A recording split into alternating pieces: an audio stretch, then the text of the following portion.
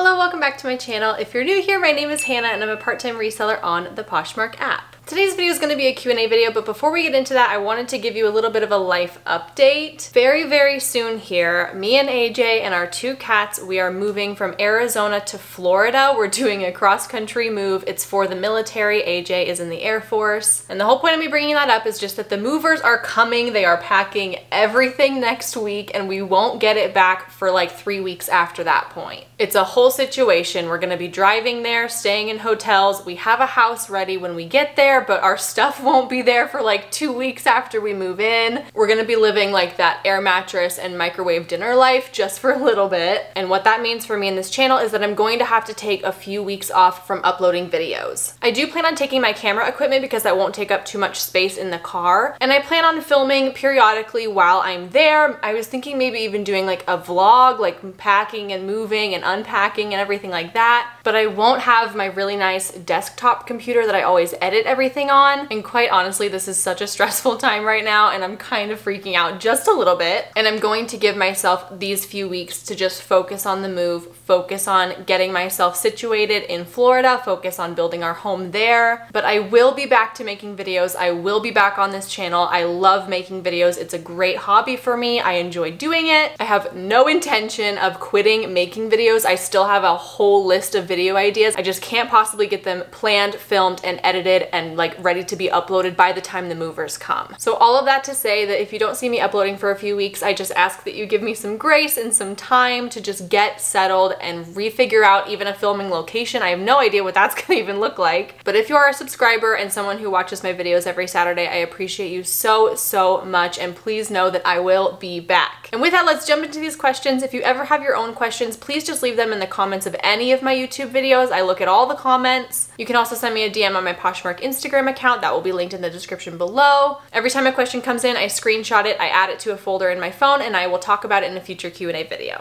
All right, and the first question says, will you ever sell on another platform other than Poshmark? At this time, at this moment, Poshmark is where it's at for me. That's where all of my energy is focused. I am spread in so many different directions as it is that adding one more thing to the plate is like completely overwhelming for me. I completely understand that expanding your market, expanding across platforms is a great business decision. I just don't feel that I can mentally manage it at this point. I do, however, have some things listed on Mercari. They've been listed for like six months over there and I haven't even touched it. I haven't opened the app. I have done absolutely nothing on Mercari. And I also make next to no sales on Mercari, but that's my own fault. I know that if I put more energy into it, I could make that work for me. But at this time, I can't, I just can't even think about it. Poshmark is where it's at for me right now. The next question says, I have a question about shipping discounts. Do you know if I would set up a discount up front, say $4.99 shipping on my listing, when I later send an offer to Liker on the listing, would it require an additional discount on top of what I was already offering? Or would the $4.99 I was already offering count as my required offers to Liker's discounted shipping requirement? I haven't set up shipping discounts yet because I don't want to lose even more on shipping. Amazing question. I would love to clarify. Poshmark has this relatively new feature now where when you are doing your listing details and you're creating the listing in the drafts, down at the bottom when you're setting the price, you have the option to put, I believe it's a $5.95 shipping price, a $4.99 shipping price, or you can give the buyer free shipping. And what that does is it just applies the shipping discount automatically to your listing so even people who are coming along to buy something full price will get a shipping discount. The simple answer to this question is that you do not have to add an additional shipping discount to the one you already set on the listing. So for example, if I'm choosing to put discount discounted shipping on this listing, meaning that the buyer is gonna pay $4.99 rather than the seven, whatever, $7.45 I think it is. When I actually go to the offers to likers feature and I click on it and I add a price that I'd like to send the offer on, it automatically updates with whatever kind of shipping discount you have on that listing automatically. So it'll automatically put free shipping if you chose to do that. It'll automatically put $4.99 shipping if that's what you decided. Essentially, it's just one less button to click when you're sending offers to likers. So you just put in the price, it auto fills the shipping discount and you just hit submit. Adding a shipping discount in the listing details does not mean that you have to do anything extra when it comes to sending offers to likers. All right, and the next question says, is it worth it to list items to parties? When I try to list an item to a party from the app, it says that this item does not match the party description, even though it does. When I add it from my desktop, it seems to go through. Is there something about this process that I am missing? Backing way up, if you're not familiar with parties, Poshmark has four Poshmark parties throughout the day. Essentially, you can just share your list listings to those different parties for those different categories, but not every single item will be applicable to every single party. So for example, if they're having the best in jeans party, you obviously can't be sharing your dresses and your tops and your shoes to it because they're not jeans. So this person is asking, is it worth it to list an item for the very, very first time to the party during that party time? I think that you can make an argument that that would be beneficial because every time you list something new, it goes into the just in category. So you can actually filter on Poshmark by what has just been listed, what's brand new to the platform. You can also use this filter in the Poshmark party showroom too. So if somebody is shopping through the best in jeans showroom, they are seeing all of the jean listings that have been shared to that party and then they can also filter by just in to see what was just listed and just shared to the party. So yeah, I think it could be beneficial to share it to the party. I don't personally hold on to any listings and like save them in my drafts until the party comes along to share it.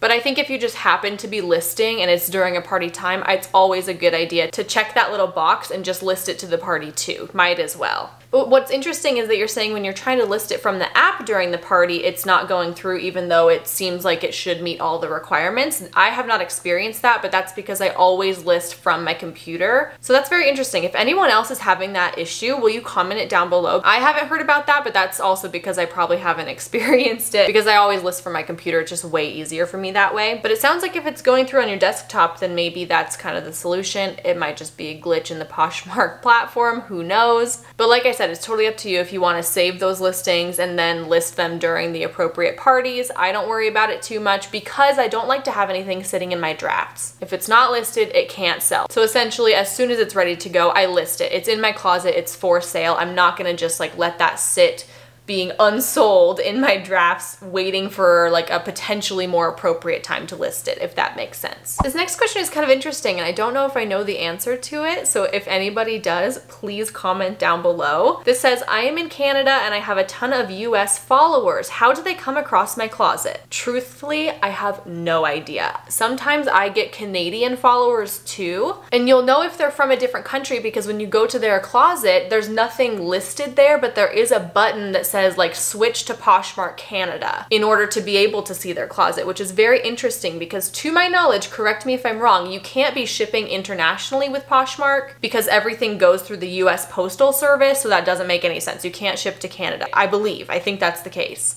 So it's always very intriguing to me when people like follow my account or they like something from my closet and I look at their closet and they're completely out of the country. Like they can't purchase from me, so I don't know why they're following or liking things. It's really easy to follow people on Poshmark. All you have to do is go to the feed and then you go up to the little person with the magnifying glass and you can just go down the list and click on a whole bunch of random accounts to follow. You would think that Poshmark would have some kind of filter, like if they know that you are in the US, they would only show you US accounts to follow follow and vice versa for Canada too. But I don't know that for sure. So maybe that's why they're just coming across your pages because they're just going down the list and following anybody and everybody and they haven't really looked at your closet to see that you're in a different country. It's the likes that really confuse me. It's like, how did you find my closet? Why are you liking my stuff? You can't buy it. Okay, wait, I might have figured it out. So if you are shopping through the different markets, meaning, so like, I'll do this in a screen recording. If you go to the shop tab, you go up to where it says all, then in the corner of that, there's a little American flag. You can click on that and then it goes to different countries, Australia or Canada. So I guess they could be clicking on those and then you're kind of like in the Poshmark Canada market and therefore you're seeing users in Poshmark Canada. Still, I don't know why you would be filtering that way if you can't shop the closets of those users, but I have heard that some people get like stuck in these settings and they don't don't know how to undo it and they don't even know that they're in Poshmark Canada. So that actually might offer some explanation. That's the only thing that I can think of at least. And the last question for this video is more like situational, kind of asking like my thoughts on their personal situation. It says, how many followers did you have when you got your first sale? Because I have like 3,000 followers and 21 listings and it's been three months. I follow back all of my followers too and I share a lot. So my personal experience is that I listed my first batch of items on Poshmark. It was 10 listings, 10 things that I had thrifted for and listed. The first thing sold within two days. But truthfully, I have no idea how many followers I had at the time. Not that many, less than a thousand definitely, because it was like a brand new account. These questions can be just slightly tricky to answer because I have never looked at this person's closet before. So without having ever looked at this person's closet before, the, the top three things that I would always tell everyone is you have to have desirable items. You have to have things listed that people actually want to buy. The second thing is that you have to have quality photos. It cannot be poorly lit, it cannot be cluttered you have to have something that's going to attract the eye essentially. When someone is scrolling, you need to have something clean, crisp, and bright. It really focuses on the one thing that you are selling. You need a photo that's gonna make someone stop in their tracks and look at your listing. And then the third and final thing you have to do is you have to be sharing, which this person says they were, which is excellent. That's the best thing you can do to get your listing out there, get people seeing it, get people liking it, get people offering on it. You cannot just list it and forget it on Poshmark. You have to be continually updating that listing, continually sharing it so that people actually find it. And I wanted to include this question in this video because I've been pondering something for a long time and I need advice, I need input, I need to know if this is even worth my time. I get questions like this almost daily of people offering like very situational, very personal questions that really depend on their closet alone. So this one, they're like, I've had this many listings and this many followers and it's been this long since I've made a sale. What can I do? Or people will say, hey, here's my closet name. Will you come and give me any tips or any suggestions you have. And don't get me wrong, I love helping people out. I love giving advice. I love making these videos. I've been doing it for a year now. All of that is extremely enjoyable for me and I want nothing more than to be helpful and provide good tips and good advice and help people make sales. The flip side of that is if I looked at every single person's closet who they sent me their username and they're like, tell me what I'm doing wrong, I would have no life. Like I would never be able to get anything else done. I would not have time to make these videos. I would not have time to run my own closet. So here's what I'm proposing. I've been thinking about this for months. I have never said anything yet, but I'm thinking, considering if there's a demand for it, which it seems like there is, I've been considering doing closet reviews and making that a paid service that I offer. That's where I get like a little weird about it is because I provide all of this content for free. Like I make my videos, I put them up there. Yes, I do make a little bit of money off of the ads that play during my video, but you as the consumer don't have to pay anything to watch it. It's completely free to you. I guess I just feel like a little bit uncomfortable charging people for something like that. But truthfully, I have not put that much thought into what my closet review system would look like yet. But all I know is that I feel bad because people come to me, not kidding, like almost daily, and they're like, come check out my closet. I'm not making any sales. What am I doing wrong? How are my photos? All this stuff. And to this point, I haven't been able to help anybody because it would take me like hours to go through and check all the different aspects and like compile notes or make a video for it or something. Essentially, I want to help. I really, really, really do, but I have to make it worth my time at this point. Until now, my best suggestion when people come to me with questions like that is I'm like, you should just go watch the videos because there's so many tips in the videos and that's free. But also I have like almost 40 videos. Like that is such a huge time consumer for someone who just wants like